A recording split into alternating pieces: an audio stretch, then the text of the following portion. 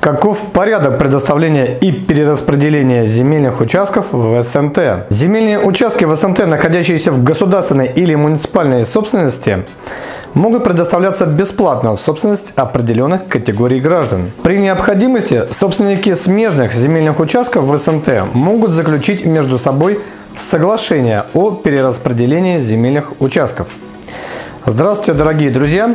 Вы на канале Приоритеты с юристом Евгением Корсакиным. Отдельное спасибо за ваши лайки и подписку на канал. Переходим к теме видео. Первое. Предоставление земельных участков в СНТ в собственность.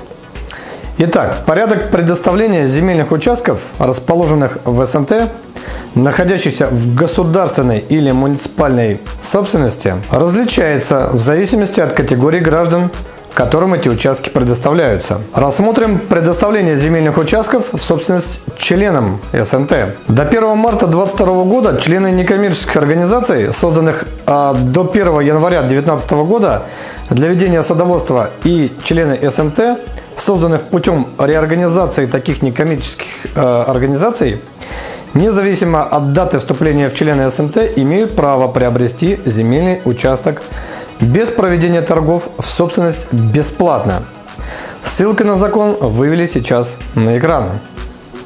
Член СНТ может приобрести земельный участок, если такой участок соответствует совокупности следующим условиям. Первое. Образован из земельного участка, предоставленного до 10 ноября 2001 года для ведения садоводства СНТ или иной организации, при которой СНТ было создано или э, э, организовано. Второе. Распределен гражданину по решению общего собрания членов СНТ или на основании иного документа, устанавливающего распределение земельных участков в СНТ.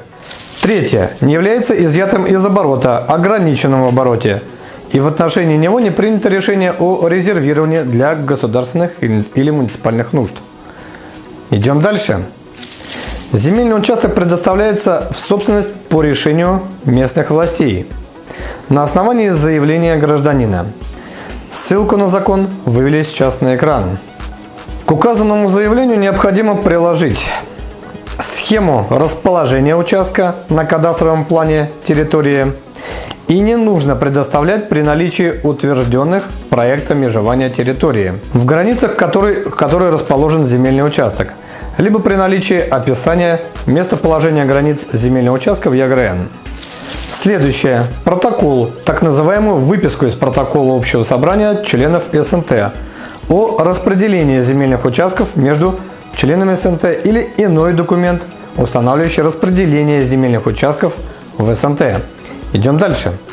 Если же ранее никто из членов СНТ не обращался с заявлением о предоставлении земельного участка в собственность, уполномоченный орган самостоятельно запрашивает сведения об СНТ, содержащиеся в ЕГРЮЛ, и сведения о правоустанавливающих документах на земельный участок, если такие сведения содержатся в ЕГРН.